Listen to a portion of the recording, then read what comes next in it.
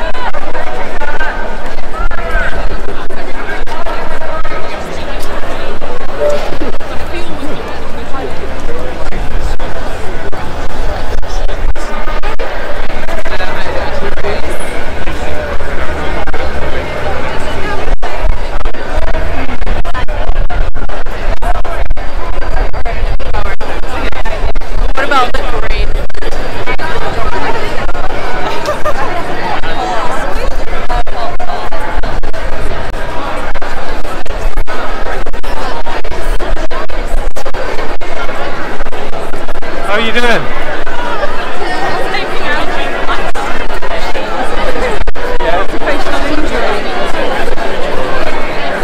I think it's because